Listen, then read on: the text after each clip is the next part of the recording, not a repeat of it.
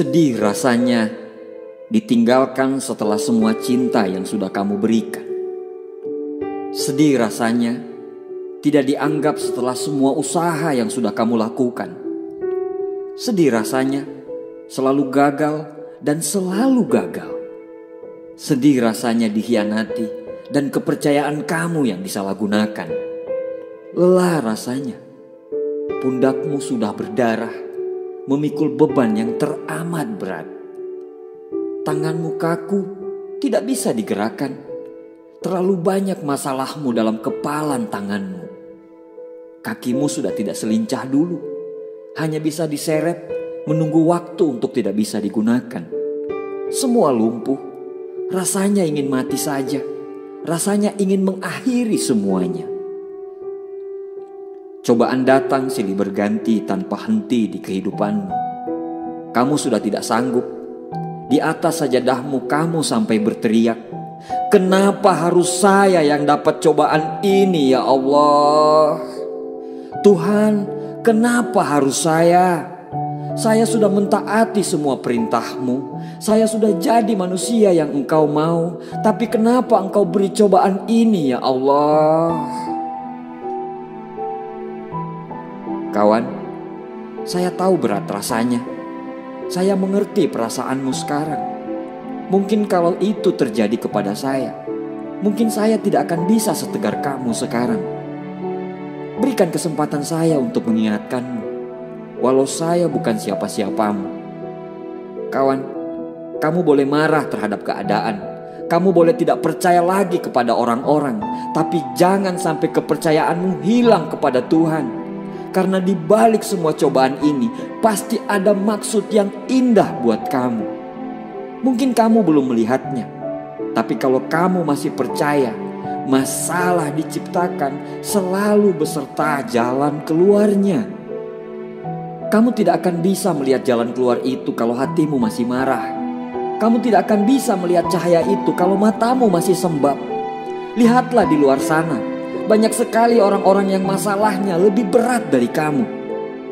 Setiap manusia yang beriman pasti akan diberi cobaan dan sudah menjadi kodratnya kalau masalah itu sesuai dengan kapasitas kita untuk memikulnya. Hapus air matamu kawan, angkat dagumu. Kamu harus tetap tegar demi orang-orang yang kamu cintai karena mereka sangat berharap dengan kamu. Tantang masalahmu dan katakan, Wahai masalahku, aku tahu kamu teramat berat untuk dihadapi, tapi aku masih punya Allah yang maha besar. Hidupmu harus terus berjalan walau cobaan datang silih berganti. Karena itu yang membuat kamu kuat. Ikhlaskan semua, berprasangka baiklah. Karena ikhlas dan berprasangka baik hanya dimiliki oleh orang-orang kuat dan beriman. Lalui masalahmu, tunjukkan keimananmu Insya Allah kamu bisa melewati semua. Kamu akan jauh lebih kuat dari sebelumnya. Hapus air matamu supaya kamu bisa melihat cahaya itu. Siram hatimu yang marah dengan keikhlasan. Insya Allah akan selalu ada jalan keluar. Jangan lelah berdoa karena Allah pasti mendengar semua jeritanmu. Jangan lelah berusaha karena Allah selalu menemanimu. Kamu harus kuat kamu harus melewatinya. Kamu harus setegar batu karang. Tidak ada satu masalah pun yang bisa mengalahkan kamu. Karena Tuhan selalu bersama dengan orang-orang yang mau berusaha.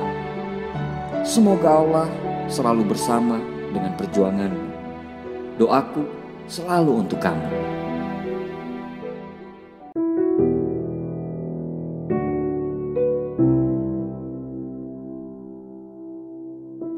Ada kalanya dalam satu masa hidup, kita dihadapkan pada sebuah fase yang sangat sulit.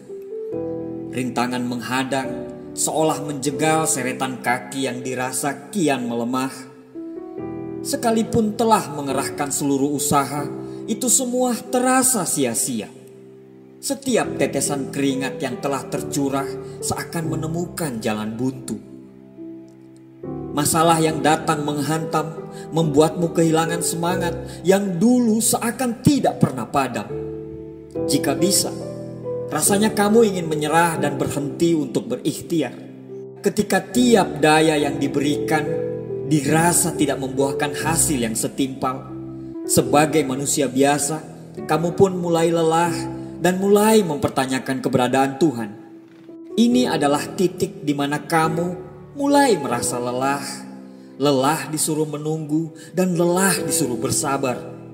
Rasa ego sebagai seorang manusia seperti menyerap semua kemampuan pasrah kepada Sang Pencipta. Kamu mulai berhitung bahwa harusnya Tuhan memberikan balasan yang setimpal karena kita sudah berusaha sekuat tenaga. Tapi kenapa matematika kita bisa berbeda dengan matematika Tuhan? Kini kamu benar-benar berada di jurang keputusasaan. Mungkin berhenti berjalan dan memutar arah adalah keputusan yang terbaik yang bisa dijalankan. Akan tetapi, sisa-sisa harap tersebut masih berada dalam ruang dada. Rasa sakit mulai juga terasa ketika mengingat betapa kecewanya orang-orang terdekat jika melihat kamu memutuskan untuk berhenti berusaha. Namun, sesulit apa pun masalah yang tengah kamu hadapi, kuharap kamu tidak pernah mengenal kata menyerah. Percayalah, akan tiba masanya air mata diubah menjadi tawa semua usahamu akan dijawab Tuhan tepat pada waktunya. Hal terpenting yang harus kamu percaya bahwa akan ada harga yang seimbang yang akan Sang Halik bayarkan sesuai dengan apa yang kamu lakukan. Tidak ada usaha yang sia-sia selama kamu berusaha. Lakukan upaya terbaik yang bisa kamu lakukan. Jangan pernah bosan untuk mengusahakan kebaikan. Kamu adalah makhluk yang tidak pernah dipersiapkan hanya untuk merasakan kegagalan. Kalau semua usahamu saat ini belum pula menemukan titik terang, itu adalah bagian dari cobaan hidup yang harus kamu lewati. Bersabarlah dan teruskan panjatkan doa. Jangan pernah berhenti. Di depan sana akan ada jawaban manis yang kelak akan kamu temukan. Memang pandanganmu terasa kabur, kamu tidak melihat satupun cahaya di depan sana. Tapi teruslah melangkah, terus dan jangan berhenti. Tidak ada yang salah dan jangan menyalahkan.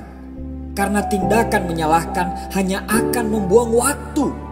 Sebesar apa pun kesalahan yang kamu timpakan ke orang lain dan sebesar apa pun kita menyalahkannya, hal tersebut tidak akan mengubah keadaan.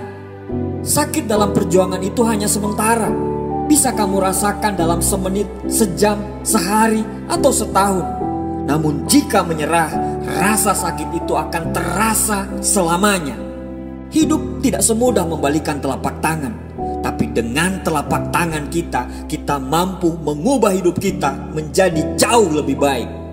Jangan pernah menyerah ketika kamu masih mampu berusaha lagi. Tidak ada kata berakhir sampai kamu berhenti untuk mencoba. Lakukan terus dan nikmati prosesnya. Proses itulah yang akan membuat kamu jauh lebih kuat dan jauh lebih dewasa. Teruslah berusaha dan jangan pernah sekali-kali untuk menyerah. Tuhan tidak pernah meninggalkan kita. Terus dan jangan berhenti. Sampai kapan? Sampai Tuhan berkata, sudah waktunya untuk pulang.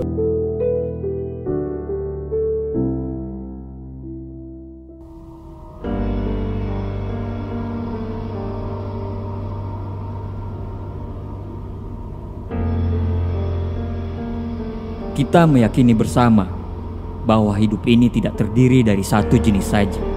Hidup kita ini tidak akan selalu sedih saja, atau hidup kita ini tidak akan selalu gembira saja.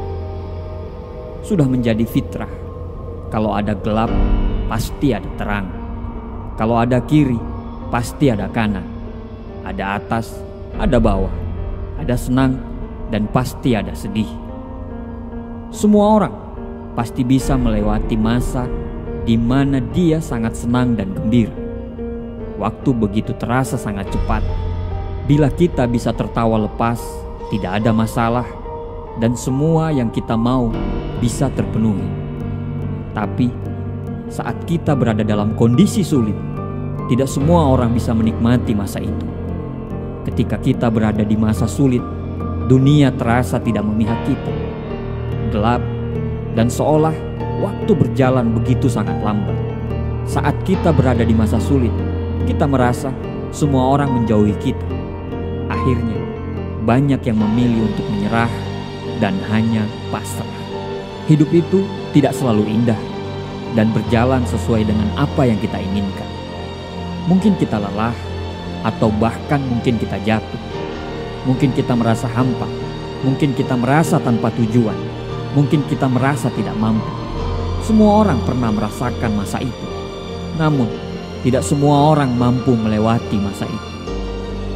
Ketika kita berhadapan dengan masa sulit, kita akan dihadapkan pada dua pilihan: menyerah atau membiarkan masa sulit itu mengalahkan kita, atau kita akan berjuang untuk keluar dari masa sulit itu. Makin lama kita mengeluh, makin lambat kita akan berjalan. Makin kita menyalahkan keadaan, akan makin sempit jalan untuk keluar dari masa sulit. Makin kita berdiam diri, akan makin besar masalah yang akan datang. Kawan, bukan cuma kamu di dunia ini yang pernah merasakan masa-masa sulit. Semua orang pernah berhadapan di fase tersulit dalam hidupnya. Cuman, kenapa tidak pernah kelihatan dan terdengar? Apakah masalahnya lebih mudah? Tidak. Bukan karena masalahnya lebih mudah. Mereka cuma mampu menyembunyikan rasa sakit akibat dari masa-masa sulit itu. Mereka tahu untuk menghadapi masa sulit itu, mereka harus lebih tenang supaya bisa berpikir lebih jernih dan menemukan jalan keluar dan solusi dari masa-masa sulit itu. Hidup ini tidak selamanya berjalan sesuai dengan keinginan kita Bahkan saat kita sudah sangat siap sekalipun, ada saja tantangan-tantangan yang tidak bisa kita prediksi menghadang langkah kita. Tapi untuk tetap hidup, apa pilihan kita sekarang? Tidak ada. Pilihan kita cuma satu, yaitu kita harus memenangkan peperangan kita sekarang. Manusia diciptakan dengan perangnya masing-masing. Menangkanlah perangmu. Kesulitan ini tidak akan pernah bisa kita rubah dia akan terus bersama kita bila kita terus meratapi nasib. Satu-satunya cara kita bisa menghadapinya adalah dengan menemukan keberanian untuk melepaskan sesuatu yang tidak bisa kita rubah. Manusia terlahir sebagai makhluk paling tinggi di antara makhluk-makhluk lainnya yang ada di dunia. Kita diciptakan dengan otak yang bisa berpikir dan hati yang bisa merasa. Kita itu istimewa, kita itu berharga. Teruslah berjuang Jangan berhenti di tengah badai. Keringat tidak akan pernah mengkhianati hasil. Jika semua orang menyerah saat sulit, tidak akan ada yang sukses di dunia ini. Masa-masa sulitmu itu justru akan membuatmu jauh lebih kuat. Jangan biarkan masa-masa sulit itu bisa menghancurkan hidupmu yang sudah dibangun dengan tetesan keringat dan air mata. Teruslah berjalan walau harus hanya menggunakan tangan sekalipun. Percayalah, tidak ada kesuksesan yang dibangun dengan kemudahan. Kesuksesan selalu dibangun dari pondasi kerja keras dan ketabahan menghadapi kesulitan. Karena kesulitanlah yang membuat kita selalu jauh lebih kuat daripada sebelumnya. Kesulitanlah yang membuat kita selalu belajar menjadi lebih dewasa dari sebelumnya. Terimalah kesulitanmu itu, rangkul kesulitanmu itu, dan bisikan kepada dia dalam setiap doamu. Wahai masalahku, Aku tahu kamu teramat berat, tapi aku tidak akan pernah mundur walau sejengkal pun, karena aku punya Tuhan yang maha besar. Jangan lepaskan percayamu, jangan lemah. Di dalam dirimu tersimpan kekuatan yang besar. Semua masalah, insya Allah bisa akan kamu lalui. Tuhan tidak pernah menciptakan langit itu selalu biru, bunga itu selalu mekar, dan mentari itu selalu bersinar. Tapi ketahuilah bahwa Tuhan selalu memberi pelangi di setiap badai, senyum di setiap tetes air mata, berkah di setiap cobaan, dan jawaban dalam setiap doa kita. Tenanglah, semua akan berlalu dan semua akan baik-baik saja.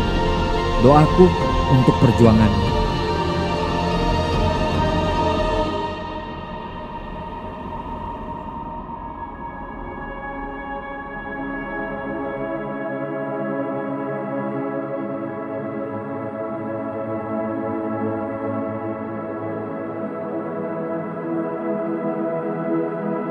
Rasa kecewa rasa marah, rasa putus asa sering sekali kita temui dalam keseharian kita. Kita ini memang manusia yang lahir dengan akal pikiran yang terkadang sulit untuk kita kendalikan. Kita kadang merasa kecewa karena apa yang sudah kita susun rapi tidak berjalan sesuai dengan rencana. Kita kadang marah karena ada saja orang yang tidak suka dengan apa yang kita jalankan. Kita pun Kadang putus asa karena sudah berkali-kali kita coba, tapi selalu menemui jalan kebuntuan. Kita selalu percaya bahwa Tuhan selalu menyiapkan solusi dari setiap masalah kita. Dan ketika kita diberi tantangan yang bertubi-tubi, Tuhan juga sudah memberikan kemampuan kepada kita untuk menyelesaikan masalah tersebut. Akan tetapi, Jalan keluar yang diberikan Tuhan tidak langsung serta-merta muncul setelah masalah datang. Kamu harus percaya bahwa selalu ada jalan yang disiapkan untuk kamu bisa melalui dan menyelesaikan masalah tersebut. Kamu hanya butuh percaya bahwa kamu bisa menyelesaikannya. Kamu hanya butuh sedikit berpikir jernih supaya jalan itu bisa kamu lihat. Kamu hanya perlu berusaha dan meminta. Jangan pernah lelah untuk selalu meminta. Rendahkan hatimu untuk tetap percaya dan selalu meminta. Jangan meminta supaya masalah itu segera berlalu, tapi mintalah supaya Allah selalu menguatkan pundak kamu agar kamu bisa melalui masalah itu. Tuhan tidak pernah meninggalkan kita. Beratnya masalah yang kamu hadapi adalah pertanda bahwa Tuhan akan menaikkan derajatmu lebih tinggi lagi. Di ujung sana, di ujung masalahmu, sesungguhnya Allah sudah menyiapkan hal-hal yang indah untuk kamu. Percayalah bahwa selalu ada maksud dari penciptaan kita ketika kita lahir di dunia. Percayalah bahwa tidak ada satu orang pun manusia yang lahir di muka bumi ini dirancang untuk memiliki takdir yang buruk. Tidak ada manusia yang didesain untuk gagal. Selalu ada maksud untuk apa kita lahir di muka bumi ini. Manusia yang besar adalah manusia yang selalu percaya bahwa dia selalu akan bisa melewati semua masalah. Manusia yang besar adalah manusia yang tidak pernah berhenti meminta kepada Tuhan dengan segala kerendahan hati. Manusia yang besar adalah manusia yang selalu mengambil hikmah dari semua masalahnya. Masalah akan selalu datang silih berganti pada kehidupan kita. Setelah kita menyelesaikan masalah yang ini, bersiaplah untuk menerima tantangan berikutnya. Makin kita ingin menjadi besar, makin besar masalah yang datang. Tanpa kita sadari, derajat kita akan makin tinggi dan cara pandang kita terhadap hidup akan makin dewasa dan bijaksana. Dan akhirnya, tanpa sadar, kita sudah menjadi manusia di atas rata-rata. Jangan menyerah apa pun kondisi masalahmu. Jangan pernah ragukan kemampuan yang diberikan Allah kepadamu. Jangan sekali-kali kamu meragukan Tuhanmu. Ketahuilah bahwa Tuhan tidak pernah menjanjikan bahwa langit itu selalu biru, bunga itu selalu mekar, dan mentari itu akan selalu bersinar. Tapi ketahuilah bahwa Tuhan selalu memberi pelangi di setiap badai, senyum di setiap air mata, berkah di setiap cobaan, dan jawaban dalam setiap doa. Tenang kawan, masalah, tantangan, dan rintangan hanyalah warna dari setiap perjuangan. Ini hanya masalah waktu. Bersabarlah dan lanjutkan perjuanganmu.